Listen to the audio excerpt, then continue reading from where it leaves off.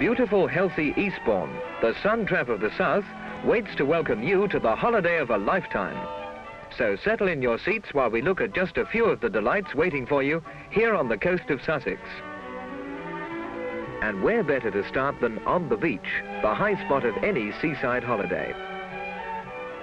Maybe the nearest you ever get to bathing is thinking about it, but even so, it's nice to know it'll be safe when you try it. The beach here at Eastbourne is safe and clean, but what's a beach without sandcastles? Well, these young ladies can't even wait for the sand to dry.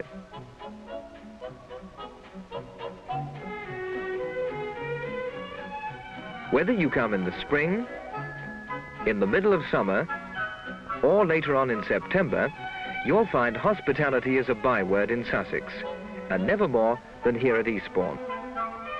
There's accommodation to suit every taste and purse, from the luxury hotels and private hotels to the coziest guest houses.